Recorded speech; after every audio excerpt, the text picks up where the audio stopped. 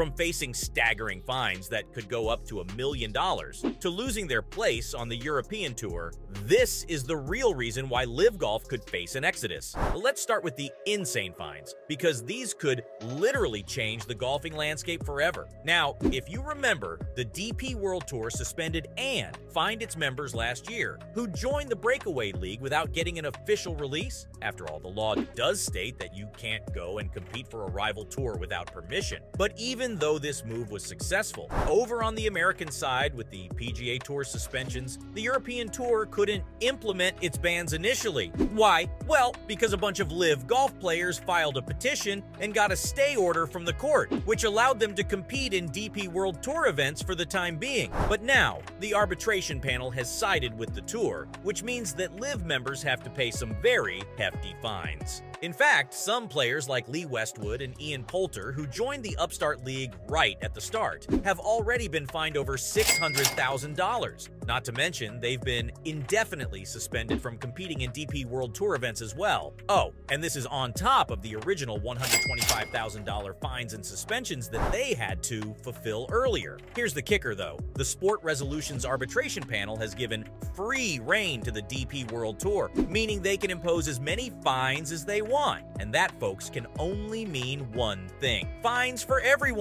Now, there were 17 golfers on the initial list, and most of them were LIV members from the league's first season. But remember, Greg Norman's brought a bunch more players to the roster for their season two, which means that the DP World Tour's blacklist has also now gone up to 26 golfers. And now, they're prepping to impose some very harsh sanctions on these players. In a statement that was published after the panel's decision, the DP World Tour said that it had already sent notices to 26 players that they were being sanctioned. Oh, and get this every single one of them is getting a different punishment depending on the number of LIV events they played and their impact on the tour's broadcast partners, sponsors, and stakeholders. So high profile players are screwed. What's more, the tour also laid out the way it's dishing out these punishments. For instance, you could be fined anywhere between $15,000 and $125,000. Also, yes, these are per event and can go up to eight events, along with a suspension, meaning those with eight high profile breaches will have to pay a million dollars in fines. In fact, even though the current notices have been sent for breaches that happened between the 22nd of June 2022 and the 2nd of April 2023, these could potentially stretch out beyond that timeline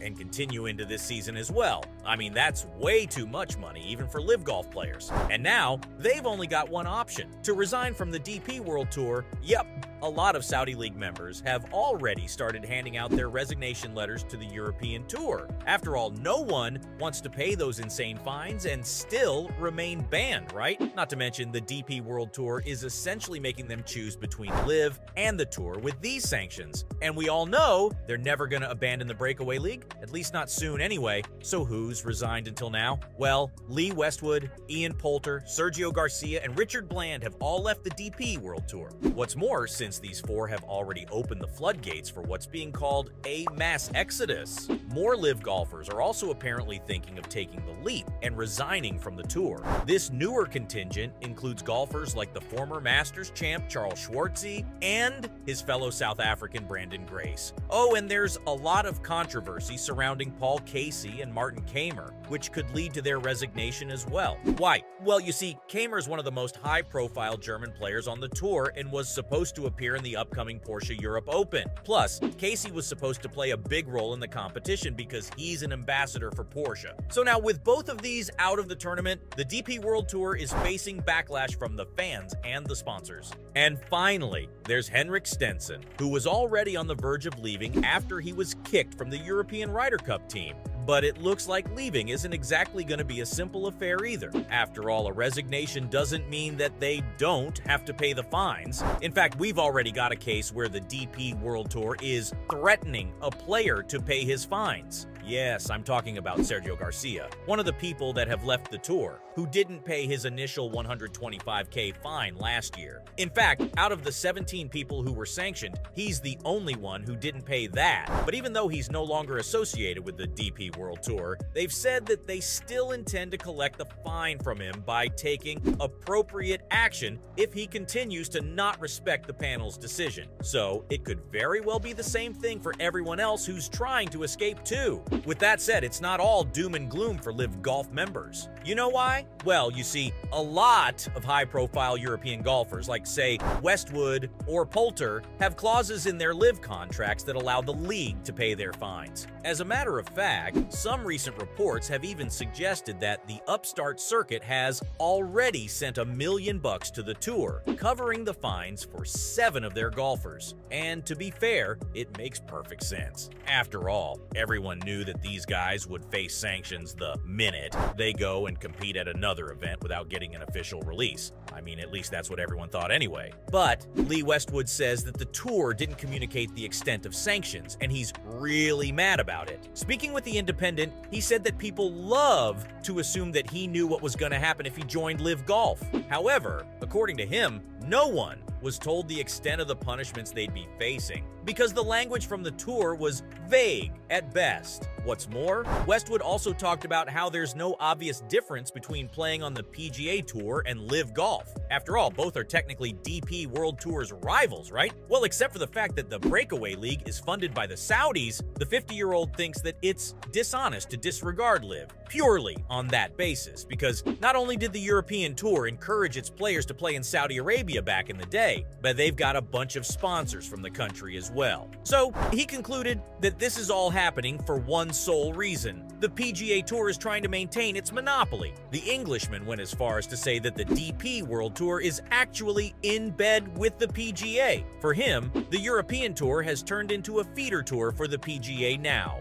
because every single great player that emerges in the EU usually ends up joining the PGA Tour. Oh, and there's a good reason for that. After all, the strategic partnership between the tours does mean that the PGA can grant free entry to the top 10 players in Europe, and that's one of the biggest reasons why the golfer decided to resign from the European Tour, because he simply doesn't want to be a part of a regime like that. So now, with all these departures and extra controversy, the question is, what's next for LIV Golf members? Well, for starters, them cutting ties like this means that they won't be allowed back in very easily. Like, those who are yet to resign can still pay off their fines, serve an 8-event ban, and start playing on the DP World Tour with all of its benefits like world ranking points. People like Sergio Garcia, however, won't be allowed back instantly even if they pay their fines. Not to mention, once they do manage to rejoin, they're still gonna have to fulfill their suspensions, which is brutal. Although, let's be fair, most Saudi League players only cared about a couple of things the world ranking points and the Ryder Cup teams. So, even though a lot of players who've played a big part in previous Ryder Cups will be sad, the league is in a healthy enough place now to not affect their futures. In fact, now that they're out of this constant legal back and forth, they can just focus on their golf. As for LIV Golf as an entity, well, they'd already lost favor with both the PGA Tour and the DP World Tour. So, their players taking a stand and resigning only gives them an upper hand. After all, not only will these golfers be fully dedicated to the Saudi League now, but it also gives the circuit that extra bit of legitimacy, since it's got players who are not competing in any other competition. And there you have it from losing their place on the European Tour to facing staggering fines that could go up to a million dollars. That was the real reason why LIV Golf could face an exodus.